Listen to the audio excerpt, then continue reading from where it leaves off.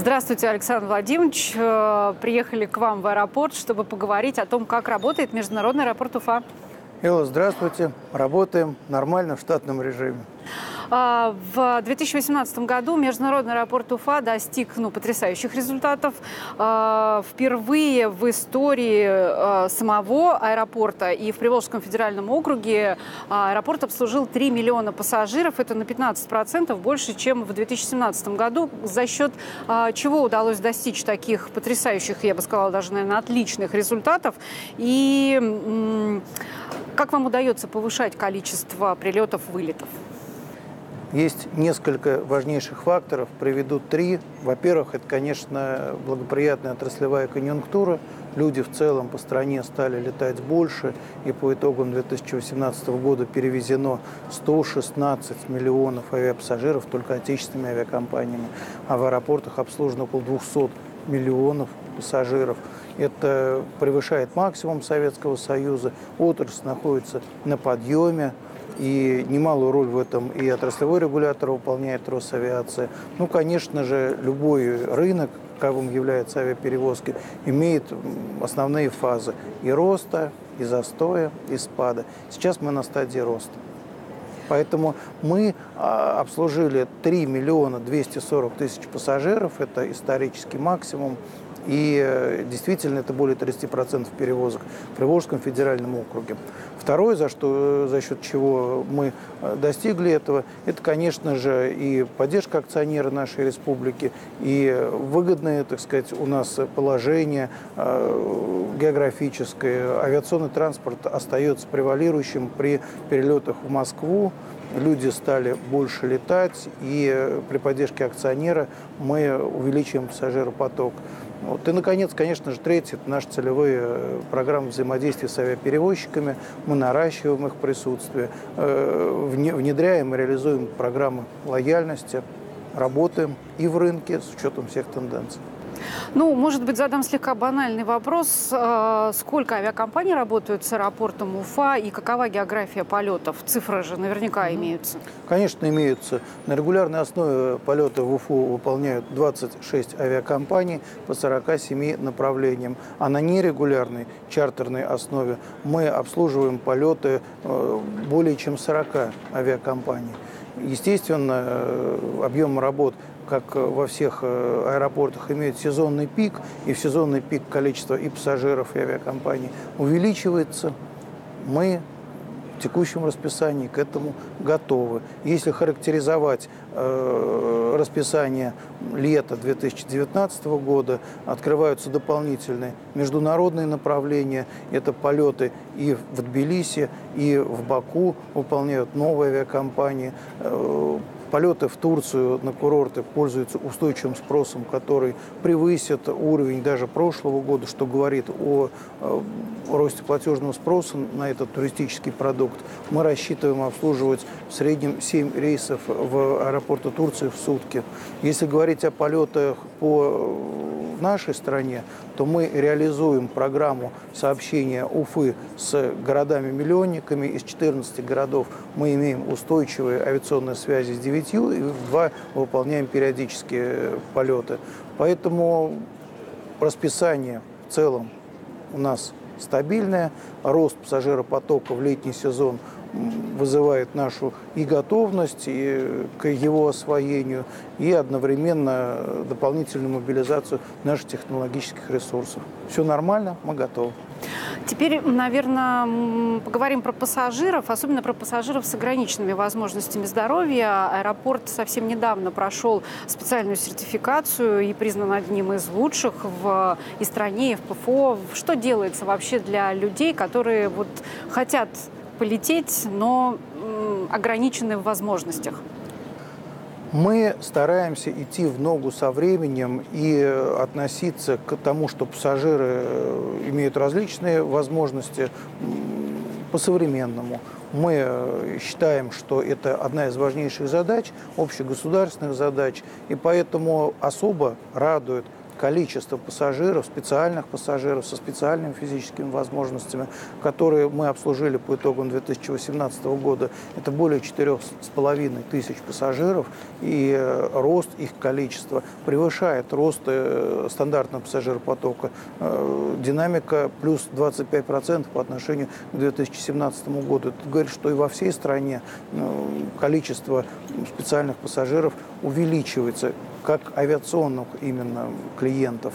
Во-вторых, мы, конечно, выстраиваем и свое оборудование в терминале, и оборудование по обслуживанию воздушных судов на максимально комфортное их обслуживание. У нас есть и э, амбулифты, и средства дополнительного перемещения в части э, аэродромной составляющей. Они подходят для обслуживания любых воздушных судов. И что касается терминальной инфраструктуры, вы даже сами можете убедиться в том, что у нас э, есть программы и э, специальное оборудование для обслуживания данных пассажиров. Плюс еще, конечно, коммуникации. Регулярно мы проводим общение, потому что лучше, чем сами пассажиры, их специальных потребностей не знает никто. 10 апреля была встреча в рамках проекта «Единая Россия», нашей основной ведущей политической силы. Проект называется «Единая страна. Доступная среда». Приходили и имели место дискуссии представители основных вот групп обществ э, людей с ограниченными возможностями. Мы данные встречи проводим не реже, чем два раза в год. В данные, вот по результатам данной встречи будет принят ряд мер по модернизации нашего оборудования в, части обслуживания пассажиров с ограниченными зрительными возможностями. А, Все-таки я хочу вернуться к программе полетной из международного аэропорта Уфа. Совсем недавно запущен рейс э, Уфа-Вена. Я знаю, что очень многие обрадовались такому направлению. Не планируется ли в международном аэропорту некое такое культурное путешествие, скажем, Уфа-Вена, ну, например, в Венскую оперу? В принципе, во всем мире принято, и очень хорошо работают такие программы. Планируется все, что может повысить устойчивость и загрузку этого рейса. Поэтому, во-первых, отвечу на основную часть вашего вопроса. Рейс в Вену состоится 3 июня. Продажи открыты, продажи по своей динамике э, внушают оптимизм. Рейс будет выполняться на Боинге 737-500 вместимостью 126 пассажиров. Время в пути составит 3,5 часа.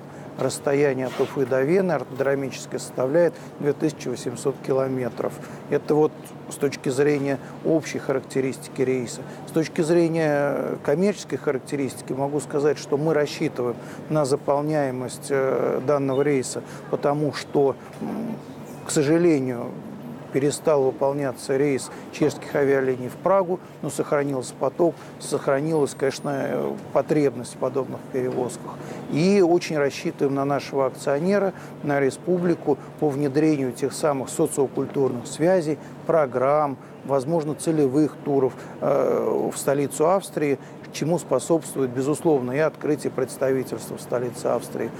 Поэтому хочется выразить надежду, что рейс будет иметь устойчивую коммерческую загрузку и продолжит выполняться стабильно. Ну, мы тоже будем на это надеяться. Следующий вопрос, касающийся Летайте. новых новых рейсов. А, буквально вот на днях появилась информация о том, что авиакомпания «Победа» возвращается в Уфу.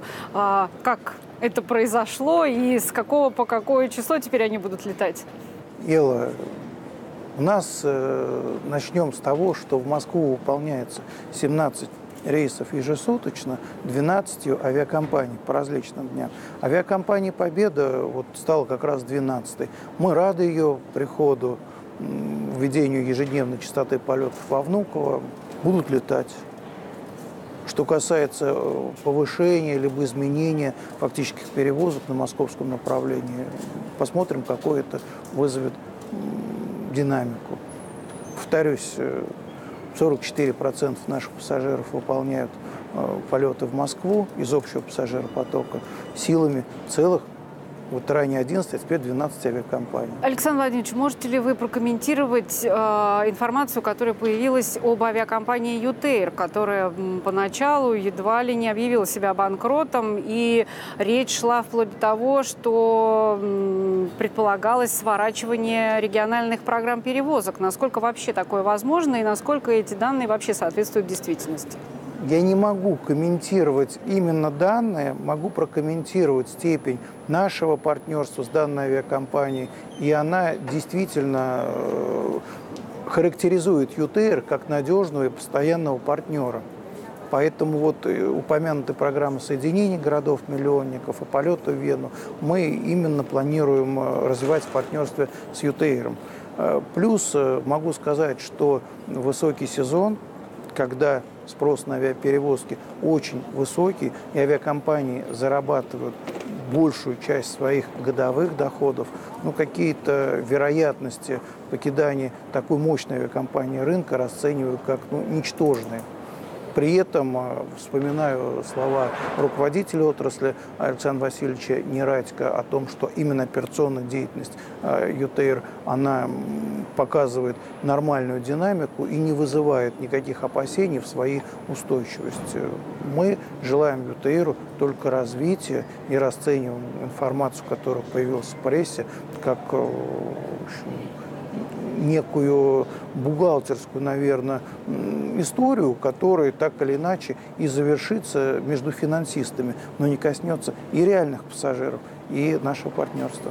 Мы верим в них и желаем всего наилучшего. Мы тоже будем на это надеяться. Ну и последний вопрос, он касается строительства, которое сейчас идет в международном аэропорту Уфы.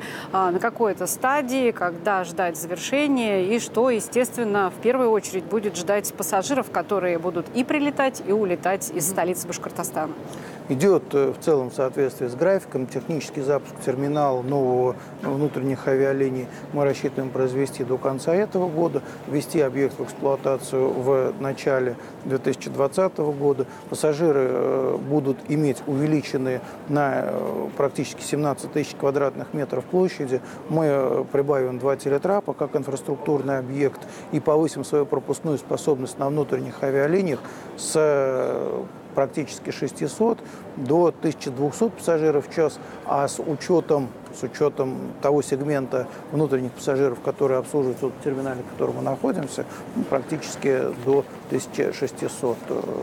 Поэтому мы развиваемся в соответствии с рынком, без опережающих семимильных шагов.